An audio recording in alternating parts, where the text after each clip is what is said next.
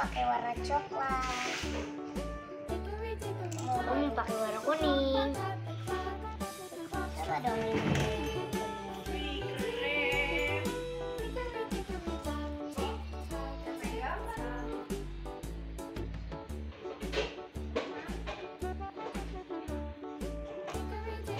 Go